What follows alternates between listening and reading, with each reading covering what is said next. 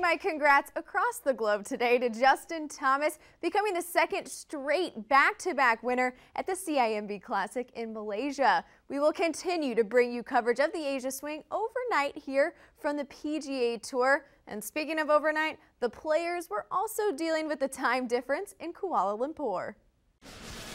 JT's final round game plan consisted of, you know, getting up at 4 a.m. local time to watch his beloved Alabama Crimson Tide early Sunday morning on his watch. But talk about work perks. Check it out. Zac Blair showing off the police escort the players got from the course. Then he returned the favor and escorted this water monitor right off the fairway on Sunday. But Blair and the players sure didn't get too close to this guy. A six-foot python was hanging out on the green at TPC Kuala Lumpur ahead of round two.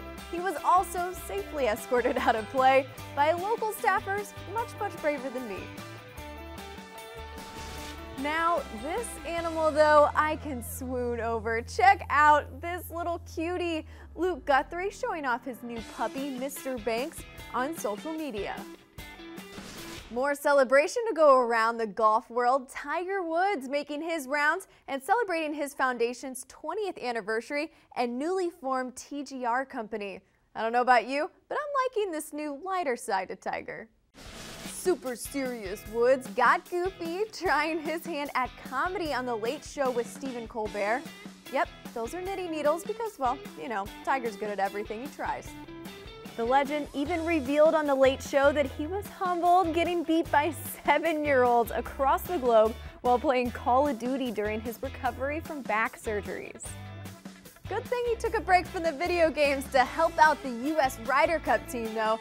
Talk about trophy case goals. It was Jimmy Walker's turn with the Ryder Cup trophy this week, which he was all too happy to set next to his 2016 PGA Championship title. I want to leave you with another trick shot again this week. Even baseball players can get in on the action. St. Louis Cardinals catcher Carson Kelly showing off his skills on Instagram this week. No, the irony isn't lost on me that I'm showing you a clip of my beloved Cardinals the week the Cubs advanced to the World Series for the first time in 71 years. Sigh. Anyway, the Asia Swing continues this week at the HSBC World Golf Championships. I'll have all the action for you overnight in Shanghai in the takeaway, in addition to the Sanderson Farms Championship in Jackson, Mississippi. See you then.